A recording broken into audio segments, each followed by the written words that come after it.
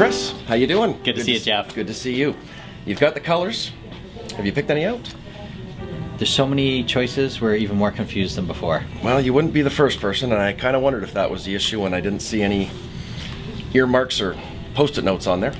Uh, would it help if I got one of our design consultants to work with you? That'd be great, Jeff. I'll grab Denise for you. So you have your whole house to do. What would be your major concerns? Color, durability, or low VOC products, so more environmentally friendly? Yes, yes, and yes. Okay, great. We have lots of different products to choose from, from both Para side and the Benjamin Moore side of our company. Great. Let me take you over to the Benjamin Moore side and I'll show you all of those colors.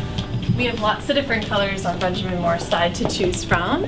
You're not limited by any means for the colors that you choose. It's just a matter of preference, but I can help you with those decisions.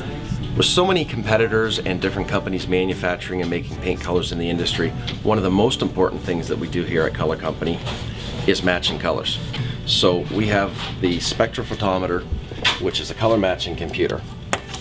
And we start off by putting the color sample into the holder. We select color match and we measure the sample and it shoots out a beam of light and measures this on about 32 different points to get the actual readings of the color. Select that it's interior paint in a latex.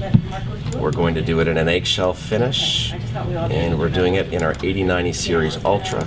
We're doing it in a gallon or 3.78 liter size. The computer will automatically select the base. We click formulate and then it gives us the formulation and the pair of products to make this color. Based on your environmental concerns and the fact that it's your daughter's room, I'd recommend using the Natura eggshell finish for this application.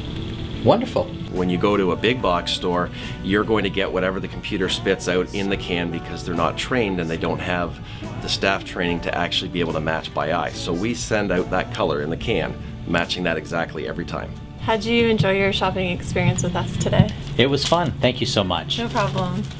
And I'll help you to your truck, sir. Thank you.